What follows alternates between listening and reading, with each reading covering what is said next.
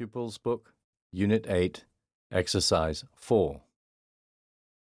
Can I have a glass, please?